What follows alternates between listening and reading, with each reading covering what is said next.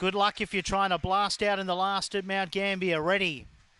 Lids up, they're away and racing and stepping nicely was Solitary Lad, uh, but rushing up around them was What a Knocker. What a Knocker went to the lead. Smarty Marty worked to second on the outside of Kudos. Then came Same Scenario, followed by Shady Whip. Uh, behind them was George Regas. Then came Solitary Lad with also Kalora Posey turning for home. What a Knocker in front by about three to Smarty Marty. What a Knocker wins the last. Smarty Marty second. Third was Kudos in front there of Same Scenario.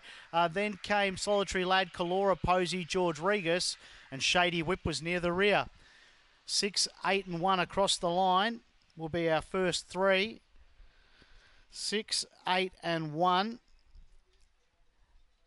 And uh, the four will run fourth. So it'll be six, eight, one, four across the line in a time of 23.15. What a knocker, trained by Tracy Price.